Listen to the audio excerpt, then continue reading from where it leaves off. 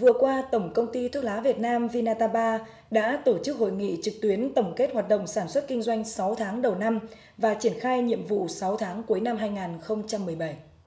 Tại hội nghị, lãnh đạo Tổng công ty cho biết 6 tháng đầu năm 2017, kết quả sản xuất kinh doanh đều đạt và vượt tiến độ đã đề ra.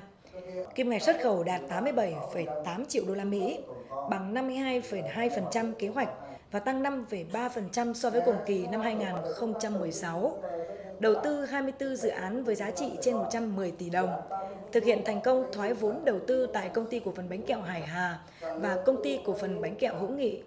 Chỉ đạo hội nghị, Thứ trưởng Bộ Công Thương Đỗ Thắng Hải nhấn mạnh, Tổng công ty cần tiếp tục tập trung giữ vững thị phần nội địa phù hợp với nhu cầu tiêu dùng, quan tâm khôi phục xây dựng vùng nguyên liệu, đẩy mạnh phát triển xuất khẩu bền vững, chú trọng nghiên cứu đầu tư áp dụng nghiên cứu khoa học công nghệ, đặc biệt phối hợp chặt chẽ với Ban chỉ đạo 389 quốc gia, tăng cường công tác đấu tranh phòng chống buôn lậu thuốc lá theo chỉ thị 30/2014 CTTTG của Thủ tướng Chính phủ.